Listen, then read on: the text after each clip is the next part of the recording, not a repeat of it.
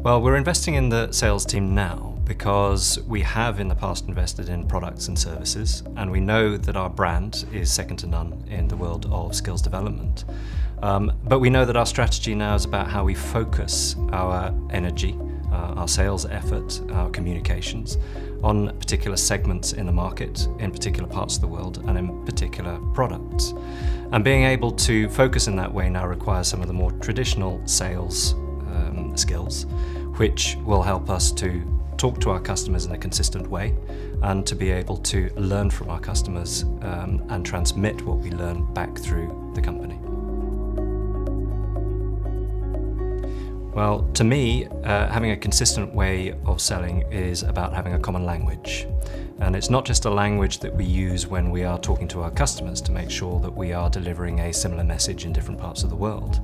but it's the language we use when we are learning from our customers and uh, making sure that our colleagues in product development, PR, marketing, um, can learn from the insights that we have learnt uh, on talking to our customers. So a common language um, in the end allows the company to work um, in an aligned manner.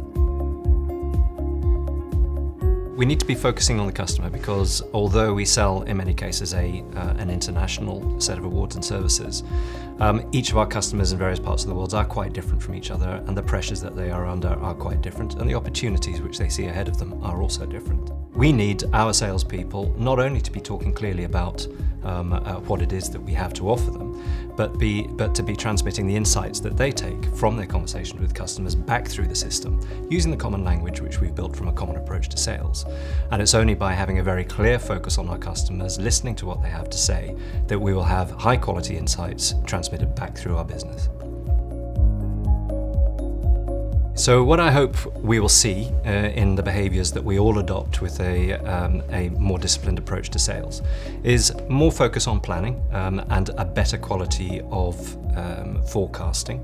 um, more information and better information about what it is that our customers need and want from us, um, and of course um, an awful lot more excitement about the fantastic products and services that we have built and how we can take them to market.